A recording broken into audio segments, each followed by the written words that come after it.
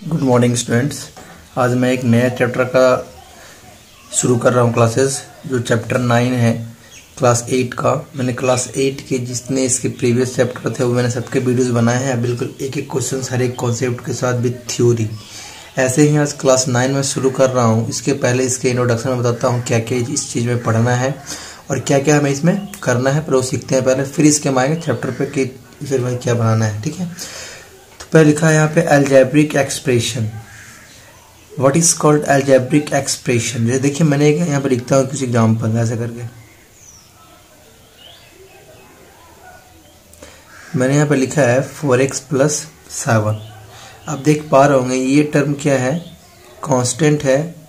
ये वेरिएबल है कांस्टेंट है। मींस कहने का मतलब ये है कि अल्जेब्रिक जो एक्सप्रेशन होता है, वो कॉम्बिनेशन ऑफ़ टू थिंग्स है, एक कांस्टेंट टर्म का, एक वेरिएबल टर्म्स का। कांस्टेंट क्या होता है? जो लिखते हैं ना काउंटिंग वगैरह हम one two three four five eight nine ten hundred one ये सब, जो कांस्टेंट है जो काउंटिंग वाला है, वो क्या है? कांस्टेंट है। वाई जो यहाँ पे एक्स लिखा हुआ है ना, ये वेरिएबल्स है। ठीक है? यानी जो जो एक्स वाई जेड लिखा क्या है? वेरिएबल्स है। और जो ये लिखा हुआ क्या है? ये है कांस्टेंट ठीक है ना? वेरिएबल की जगह और क्या हो सकता है? ये तो X Y Z A B C D M N यानी कि ए बी सी डी के जितने अक्षर होते हैं, वो यहाँ पे कोई भी हो सकता है, होता है। ठीक है ना? हो रहा है वेरिएबल मीन्स एल्जेब्रिक एक्सप्रेशन क्या होता है? इसमें दो तरह के कांस्टेंट मतलब कि कांस्टेंट और वेरिएबल का मिक्सर होता है। ये भी एल्जेब्रिक एक्सप्रेशन है इसके अलावा और भी बहुत सारे हो सकते हैं। ये नहीं कि वही होगा। ठीक है ना? तो सारे क्या है? अल्जेब्रिक एक्सप्रेशन है, जो मैंने आपको बताया। ठीक है? अब अल्जेब्रिक इसमें आते हैं, कुछ टर्म के बारे में बात करता हूँ मैं अभी देखिए टर्म जैसे मैंने यहाँ पे लिखा था फोर एक्स प्लस सेवन लिखा हुआ था। अब देख पा रहे हो, ये क्या है, एक अल्जेब्रिक एक्सप्रेशन है। इस, ये अल्जेब्रिक जो एक्सप्रेशन है, इसमें दो टर्म है। एक टर्म तो ये वाला, एक टर्म ये वाला। है कि नहीं है? ये क्या है? टर्म हो गया, दो टर्म हो गया। इस, जैसे कि यहाँ पे यहाँ पे तीन टर्म है। एक, दो, तीन टर्म हो गया। और जो नंबर लिखा होगा ना जो बीच में जो दिया हुआ ऑपरेशन ये है operation operation it is called plus minus है ना? मल्टीप्लाई डिवाइड क्या ऑपरेशन है? क्या ऑपरेशन है? तो बेसिकली यहाँ पे प्लस दिया हुआ है। तो जो ऑपरेशन को सेपरेट करता जाता है कि ये क्या है? ये एक रहा फ़र्स्ट टर्म है ये सेकंड टर्म है तो ये रहा टर्म के बारे में। ठीक है ना? ये टर्म रहता है। एक है फैक्टर फिर मान लें कि यहाँ पे टर्म क्या फोर एक्स है कि नहीं है? तो फोर एक्स को अगर मैं निकालूँ तो क्या ले सकते हैं? फोर मल्टीप्लाई है। मीन्स फोर एक्स इसका फैक्टर है फोर और एक्स का। मीन्स प्रोडक्ट फैक्टर मीन्स क्या product it is a product of four and X ऐसे मान लीजिए टर्म को ही लिखते हैं फैक्टर ये सेवन लिखा हुआ है। तो सेवन क्या लिखेंगे हम? सेवन मल्टीप्लाई वन ये क्या हो जाएगा? ये फैक्टर हो गया। ऐसे मान लीजिए यहाँ पे सिक्स लिखा होता तो क्या होता टू मल्टीप्लाई थ्री हो जाता। कहीं को थ्री मल्टीप्लाई टू लिखा ये इसका फैक्टर हो गया। मीन्स जो टर्म है ना, उस टर्म का ही फैक्टर होता है। ठीक है ना? पहला था, जैसे किसको बोलते हो? मैंने बताया आप लोगों को। फिर मैंने बताया टर्म के बारे में। फिर बताया मैंने फैक्टर के बारे में। अब आते हैं कोफिशियंट के बारे में। कोफिशियंट क्या होता है? कोफिशियंट में हमेशा, क्या होगा हमेशा? इसका ज़िक्र होगा वेरिएबल के साथ वाला। जैसे मान लें कि फोर एक्स हो गया। अगर मैं पूछूँ कि यहाँ पे कोफिशियंट कितना एक्स का है तो फोर हो गया। ठीक है ना? अगर मैं यहाँ पे लिख रखा फोर एक्स का स्क्वायर वाई यहाँ पे कितना कोफिशियंट है? फोर हो गया। ठीक है ना? अगर मैं पूछता यहाँ पे कि वाई का कोफिशेंट कितना है तो होता फोर एक्स का स्क्वायर अगर मैं पूछता कि एक्स स्क्वायर का कोफिशियंट कितना है फोर स्क्वायर मीन्स अगर सिर्फ़ पूछा कि इसका कोफिशियंट क्या है तो फोर हो जाता लेकिन अगर किसी ने पूछा कि y का कोफिशियंट क्या है तो y के अलावा छोड़ के सब लिखना पड़ेगा आपको। ठीक है ना? अगर किसी ने पूछा कि एक्स स्क्वायर का कोफिशियंट क्या है तो एक्स स्क्वायर के अलावा छोड़ के सब लिखना पड़ेगा। जैसे फोर और वाई जैसे मान लिया, लिखा मैंने negative five X square Y Z मैंने पूछा यहाँ पे कि जेड का कोफिशियंट क्या है तो क्या लिखोगे? निगेटिव लिखोगे। और जेड के अलावा जितने हैं, सारे यहाँ पे मैं लिख दूँगा। ठीक है ना? तो ये रहा टर्म फैक्टर ऑफ़ कॉफिशियंट के बारे में जो मैंने आपको बताया। देखिए अब नेक्स्ट चीज़ क्या है वो आपको मैं बताता हूँ। ठीक है ना? अब देखिए according to term according to term के अकॉर्डिंग हर एक एक्सप्रेशन का कुछ अलग अलग नाम होते हैं। जैसे देखिए, एक नाम है, मैं यहाँ पे नाम लिखता हूँ, देखिएगा एक बार। मोनोमियल मोनोमियल बाइनोमियल ट्राइनोमियल फिर होता है पॉलिनोमियल लिख सकते हैं बाइनोमियल्स ट्राइनोमियल्स ऐसे भी आप लिख सकते हैं, कोई दिक्कत नहीं है।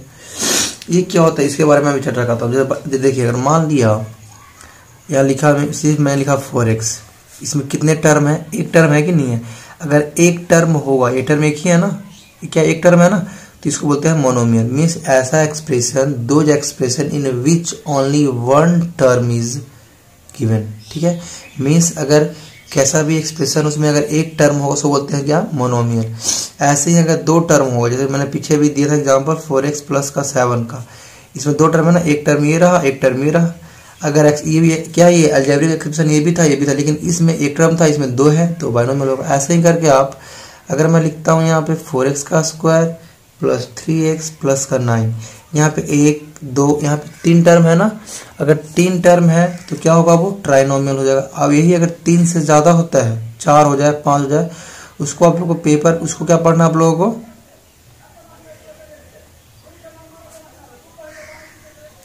देखिए मैंने लिखा यहाँ पे।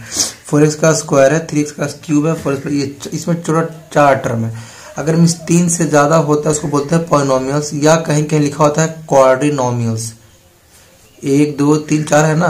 तो चार टर्म को हम क्या बोल सकते हैं? क्वाड्रिनोमियल्स लेकिन आपके बुक में क्या लिखा हुआ है? पोनोमियल लिखा हुआ है। तो जैसे ही अगर तीन टर्म से ज़्यादा होता है तो उसको पोनोमियल में आप लिख सकते हैं। कोई दिक्कत नहीं है। एक टर्म वाले को मोनोमियल दो वाले टर्म्स को बाइनोमियल तीन वाले टर्म्स को ट्राइनोमियल तीन से ज़्यादा होगा तो कैसे बोलते हैं हम? पॉलिनोमियल जो आपके बुक्स में है। नेक्स्ट आता है लाइक टर्म नेक्स्ट क्या टॉपिक लाइक किसको बोलते हैं और अनलाइक किसको बोलते हैं? ये देखिए एक बार। जैसे मान लिया, आपको मैंने यहाँ पे लिखा है, आप देखिए। लिख दिया मैंने फोर एक्स निगेटिव और थर्टीन एक्स थर्टीन बाई है ना ऐसा करके? इसमें से लाइक टर्म कौन सा है? देखिए, यहाँ भी एक्स है और यहाँ भी एक्स है। तो ये दोनों हो गया लाइक टर्म मीन्स कहने का मतलब कि अगर वेरिएबल्स सेम हो कॉन्स्टेंट कुछ भी उसे मतलब नहीं है, लेकिन वेरिएबल्स अगर सेम है एक्स यहाँ भी है एक्स यहाँ भी है तो ये दोनों आ जाएगा लाइक टर्म में। ये दोनों में क्या में आ जाएगा? लाइक टर्म में आ जाएगा। ठीक है ना? ये हो जाएगा इस वाले में अनलाइक टर्म में। ऐसे करके मीन्स अगर मानिए यहाँ वाई लिखा होता, अगर एक टर्म और कोई वाई वाला लिखा होता मैं लिखा मैंने यहाँ पे टू बाई तो यहाँ पे फिर आ जाता थर्टीन बाई और टू बाई मीन्स कहने का मतलब ये है कि अगर वेरिएबल्स अगर सेम है कॉन्टेंट कुछ भी हो तो आता है लाइक टर्म में। इसके अलावा जो बचेगा, वो किसमें आ जाएगा? अनलाइक टर्म में आ जाएगा। तो मैंने अभी देखिए, अब मैंने आपको एक बार क्या बताया? एक मैंने बताया अल्जेब्रिक एक्सप्रेशन के बारे में, ठीक है? सेकेंड मैंने बताया ये टर्म के बारे में। फिर मैंने बताया टर्म क्या होता है फैक्टर क्या होता है कॉफिशेंट क्या होता है। फिर मैंने ये बताया आप लोगों को चार टर्म के बारे में। फिर ये लाइक रहा ये अनलाइक टर्म रहा। इसी के अकॉर्डिंग आगे हमें क्या पढ़ना है? इसका पढ़ना है एडिशन एडिशन पढ़ना है सब्ट्रैक्शन पढ़ना है मल्टीप्लिकेशन पढ़ना है डिवाइड भी पढ़ना है, ठीक है ना?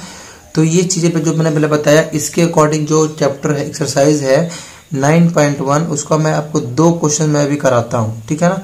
उसको बिल्कुल आप देखिएगा, ध्यान से और समझिएगा, ठीक है ना?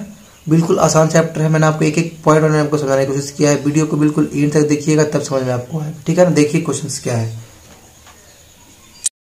देखिए क्वेश्चंस में क्वेश्चन जो फ़र्स्ट है 9.1 का जो क्वेश्चन दिया हुआ उसमें कॉमा कर करके एक्सप्रेशन इस साइड इस तरह का दिया हुआ है। देखा ना फ़र्स्ट सेकंड थर्ड करके इस तरह के साथ पाँच या छह थोड़ा एक्सप्रेशन दिया हुआ है। तो पहले आप क्या कीजिए, इसको पहले आप बनाइएगा बॉक्स में इस तरह के। हमें क्या करना है, जो एक्सप्रेशन लिखा है, उसमें से टर्म लिखना है और कॉफिशियंट को लिखना है, ठीक है ना? तो पहले क्या करें इस तरह का बॉक्स बनाना है, ऊपर लिखना एक्सप्रेशन टर्म और कॉफिशियंट लिखना इस तरह के लिखना बिल्कुल ध्यान से आप लोगों को। ठीक है फ़र्स्ट में क्या लिखा हुआ है फाइव एक्स जेड का square minus three Z Y. इसमें टर्म दो है, इधर वाले टर्म एक जाता है। एक टर्म कौन सा है? फाइव एक्स बाई जेड का स्क्वायर माइनस थ्री इस तरह का लिखा हुआ है। इसका कोफिशियंट क्या होगा? जो कांस्टेंट है, वो इसमें किसी का नाम नहीं लिखा हुआ कि किसका कोफिशियंट भी लिखना है कोफिशियंट अगर सिर्फ़ कॉफिशेंट लिखना होता है तो जितना इसमें कांस्टेंट टर्म्स को लिख दीजिए। ये पहले फाइव लिख दिया, फिर निगेटिव थ्री लिख दिया। इसमें देखिए, इसमें कितने टोटल इसमें टोटल तीन टर्म है ना, एक वन है, एक एक्स है एक एक्स का स्क्वायर है तीन टर्म हो गया। और इसमें से कोफिशियंट क्या हो जाएगा? वन का तो वन ही होगा। इसके एक्स को मैं लिखूँगा लिख सकता हूँ वन मल्टीप्लाई एक्स तो वन हो जाएगा। एक्स का स्क्वायर कुछ नहीं तो वन है, ठीक है ना? ऐसे इधर देखिए। यहाँ पे देखिए, यहाँ पे तीन टर्म था, लिख दिया मैंने। एक था फोर एक माइनस फोर एक जेड का स्क्वायर क्या होता है? वन हो जाएगा। ठीक है ना? एक जो देखिए ध्यान से आप लोग। ये तीन क्वेश्चन देखिए देखिए नेक्स्ट फोर्थ में क्या लिखा हुआ? Three minus P Q plus Q R minus R P लिखा। इसमें थोड़ा चार टर्म है, एक थ्री है, एक माइनस पी क्यू है, एक क्यू आर है, एक आर पी सारे टर्म हो गए।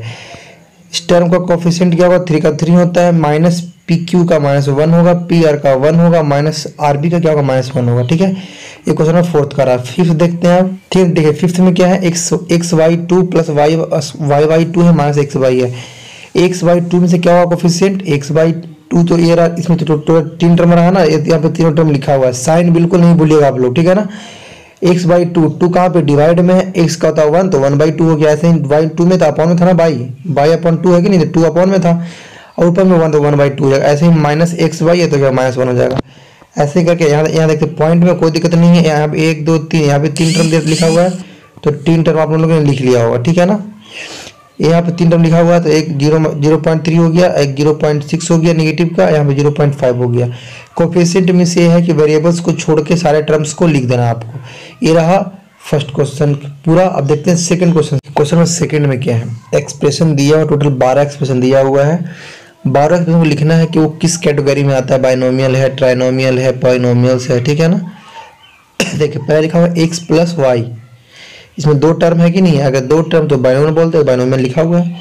हज़ार में क्या? एक टर्म है, उसको बोलते हैं मोनोमियल यहाँ पे देखिए, एक, दो, तीन टोटल चार टर्म है। मैंने क्या हुआ तीन से अगर ज़्यादा, उसको क्या बोल सकते हैं? उसको क्या बोलते हैं? पॉइनोमियल बोलते हैं। लिखिए पॉइनोमियल फोर्थ में क्या है? तीन टर्म है, एक सेवन है, एक वाई है, एक फाइव इसमें तो तीन टर्म तीन बोलते हैं ट्राइनोमियल फिफ्थ में दो टर्म है तो बाइनोमियल सिक्स में क्या है? तीन टर्म ट्राइनोमियल सेवंथ में भी तीन टर्म ट्राइनोमियल एट में दो टर्म बाइनोमियल नाइन्थ में क्या, चार टर्म टोटल है में लिखा हुआ है। ठीक है, यहाँ तक आप लोगों को दिक्कत नहीं होना चाहिए आप लोगों को। अब ये टेंथ नंबर में टोटल कितने टर्म है? एक टर्म है। पी क्यू आर का एक टर्म है ना? तो क्या होगा मोनोनोमियल हो गया मोनोमियल्स फिर नेक्स्ट में क्या है? दो टर्म बाइनोमियल फिर नेक्स्ट में क्या है? लास्ट क्वेश्चन से जो two P plus two Q क्या है? बाइनोमियल्स है, ठीक है ना? तो ये रहा क्वेश्चन फ़र्स्ट और सेकंड के बारे में जो आपको मैंने बताया अभी, ठीक है ना? तो बिल्कुल वीडियो को इन तक देखे होंगे आप लोग तो कोई समझ में आएगा। वीडियो को अपने दोस्तों शेयर कीजिएगा चैनल को सब्सक्राइब भी कीजिएगा नहीं कोई कर पाए हैं अभी तक तो ठीक है ना?